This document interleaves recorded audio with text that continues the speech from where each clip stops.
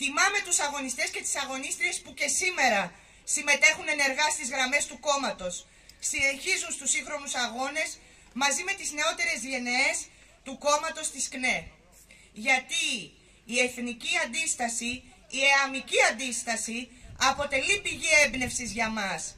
Περικλεί αδιάστηστες αποδείξεις ότι όταν ένας λαός θέλει, τότε μπορεί να τα βάλει με έναν εχθρό υπέρτερο, εξωτερικό και εσωτερικό, όπως αποδείχθηκε.